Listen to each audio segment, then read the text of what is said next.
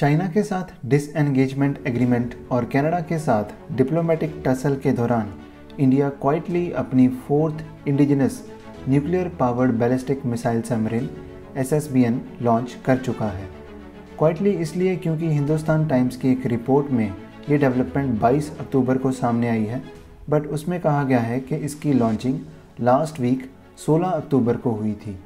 अक्टूबर 15 को defence minister Rajnath Singh द्वारा very low frequency radar naval station को इनाग्रेट किया गया था।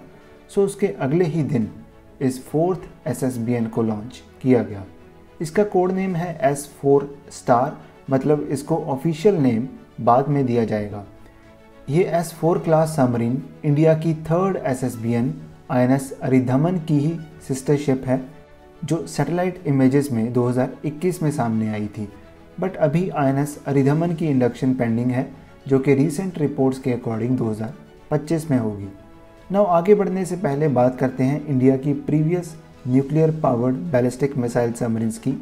फ़र्स्ट है आईएनएस अरिहंत जिसको लॉन्च किया गया था 2009 में और कमिश्निंग हुई 2016 में। देन सेकंड एस है आई अरिघात जिसको अभी हाल ही में अगस्त में इंडक्ट किया गया था।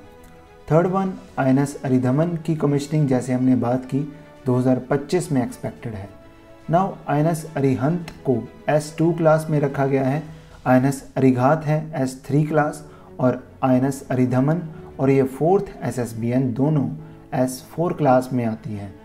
और ये दोनों S four class S S B Ns Arihant class submarines I N S Arihant और आई एन एस अरिघात का ही एक स्ट्रेच वर्जन है, जो कि longer range nuclear tipped ballistic missile से लेस होंगी।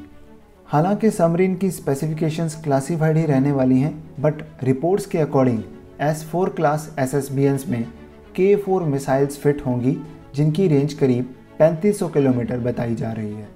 दूसरी ओर आई अरिहंत और आई अरिघात में के 15 मिसाइल्स हैं, जिनकी रेंज सिर्फ़ साढ़े सात सौ किलोमीटर्स तक की ही है, जो इनकी न्यूक्लियर स्ट्राइक कैपेबिलिटी को लिमिट करती है।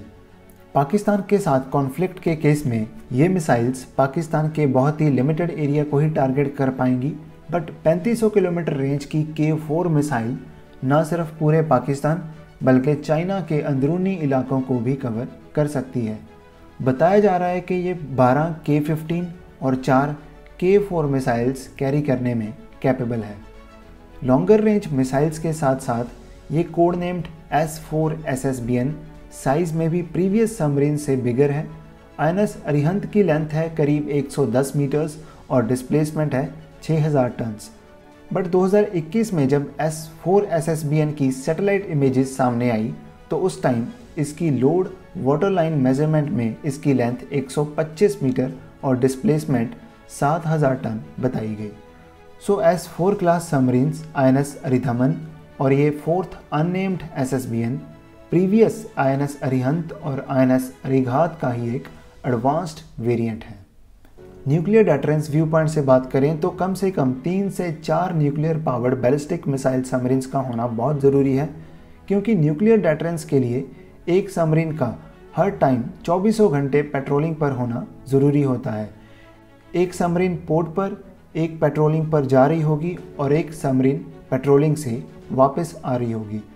ब्रिटेन की सी न्यूक्लियर डेटरेंस की बात करें तो ब्रिटिश रॉयल नेवी ने पिछले 50 साल से लगातार अपनी सी डेटरेंस को मेंटेन रखा है और अब British royal navy fifty third year में एंटर कर चुकी है to maintain its longest sustaining military operation. देखा जाए तो कंट्री की न्यूक्लियर ट्रायड मतलब एयर, लैंड और सी न्यूक्लियर कैपेबिलिटीज़ में से ballistic missile submarines most survivable weapons हैं। क्योंकि समरीन्स ओशंस की डेप्थ्स में लंबे समय तक बिना सरफेस पर आए और एनिमी वॉरशिप्स के रडार पर बिना डिटेक्ट हुए सर्वेलेंस रखने में कैपेबल होती हैं। सो so, चाहे इस S four S S B N की लॉन्चिंग काफ़ी क्वाइट रही हो बट इसका स्ट्रेटजिक इम्पैक्ट बहुत ही सिग्निफिकेंट होगा। 1998 में first S S B N I N S Arihant की स्टील कटिंग के बाद आज इंडिया के पास चार operational S S B Ns हैं।